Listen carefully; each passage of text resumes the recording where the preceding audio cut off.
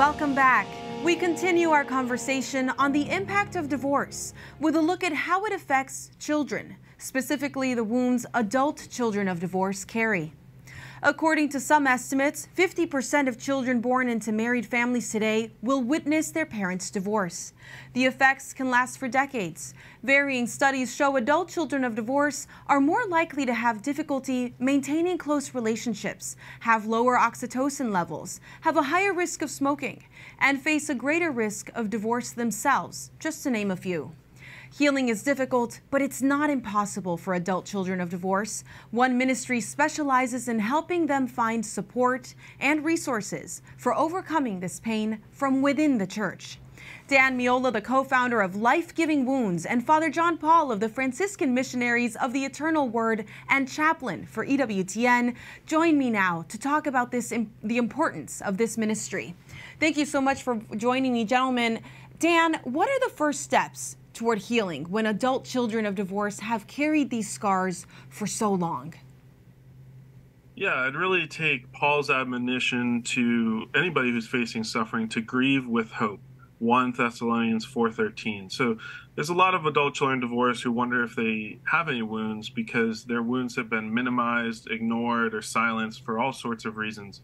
So just to offer them to have the permission to grieve and explore that this may in fact be a wound. And to those who already know that they're wounded but maybe are facing kind of a resignation that there's no hope for healing is to have hope and to invite Christ into this pain. That's beautiful. Father John Paul, as a priest, what advice can you offer those seeking consolation through prayer? Well, prayer is the most important thing, Montse. And I would say that every one of us has a story. Every one of us has a very unique story and our own in individual experience of what we may have gone through with our own parents' divorce. And like you said, to be very sensitive with that, but also to face it in reality, to bring it to the Lord in prayer and know that God's story, his own story of salvation, must intersect with our story.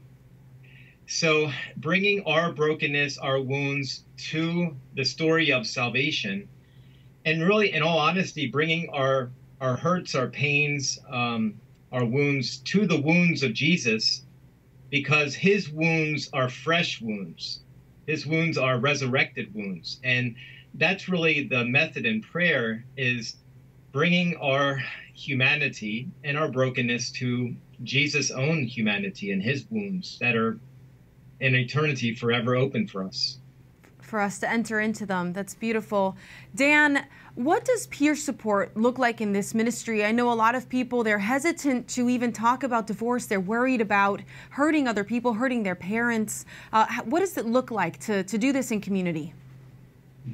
Yeah, I mean, I, I, we can't do this healing work alone, as Father Jean Paul Mary just mentioned about inviting Christ. But Christ also wants to incarnate His presence in a community, and we know the surest way to healing and virtues through friendship. So the peer support we offer in our ministries through small group discussion, through advice from others who know the pain from the inside, hmm. who know the path of healing from the inside.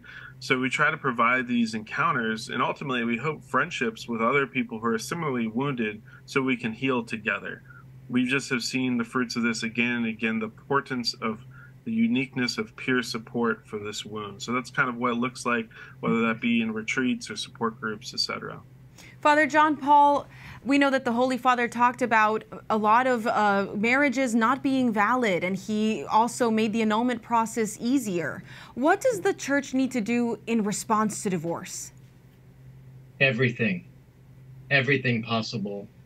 Um, just from the very beginning of family life, um, the way we're raised, uh, the way we are taught the faith, the way we're taught to communicate with one another, openness in, in marriage, love I think it's so important that it begin very early. And also, not just marriage preparation. Marriage preparation is very important, but also accompanying married couples probably within the first years of marriage 5, 10, 15 years of marriage to have other couples along the road with you. You can't do it alone. Just like in religious life and priesthood, you can't do it alone.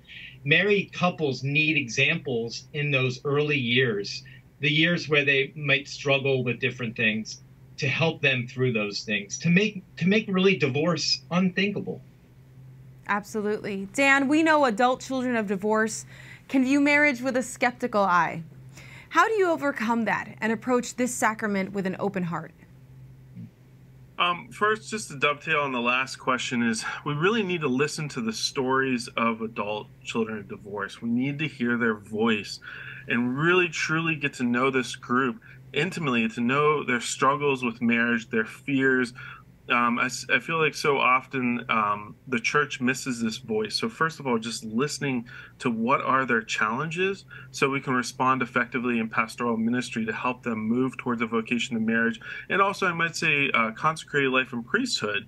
They struggle with a skeptical eye towards all these vocations. So, first of all, just listening more to their voice and responding to their particular pain. Second of all, they need to recover an adequate view of marriage. We often have a damaged view of marriage from our experiences of a broken home, and the church offers a beautiful blueprint for that.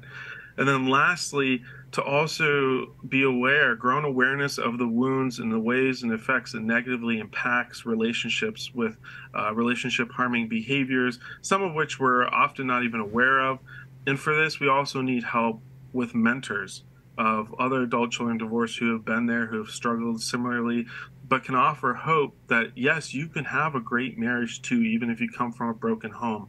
And to learn how to do that, it takes work, it takes effort, but with God's grace, anything is possible. And many of us do go on have beautiful marriages, but we need to cooperate with God's grace, recovering the blueprint, listening to the voices of other adult children divorced, having specific pastoral ministry for them and their fears, and then offering some mentor couples.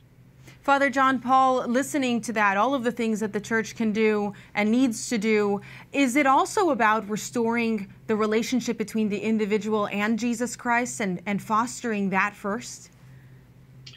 Yeah, that's a great question, Montse, because Jesus Christ is the bridegroom and the church is his spouse. And so like marriage is that imagery here on earth, that foreshadowing of the imagery between Jesus Christ and his church.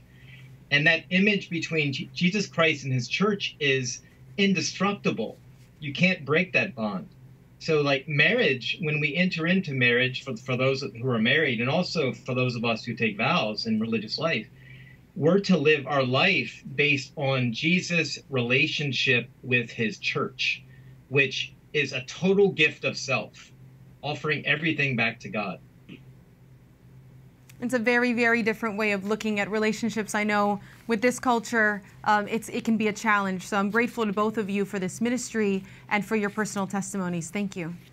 Thank you, Montse, for your opportunity. Thank you.